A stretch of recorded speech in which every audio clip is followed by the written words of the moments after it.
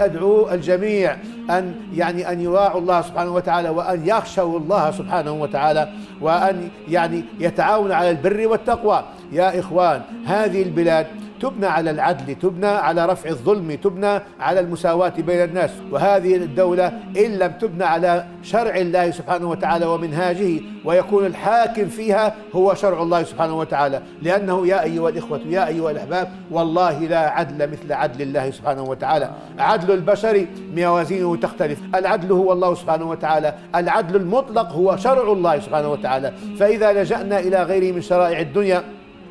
ومن شرائع الوضعية في هذه الحياة فقد ضللنا الطريق وضيعنا ما نريد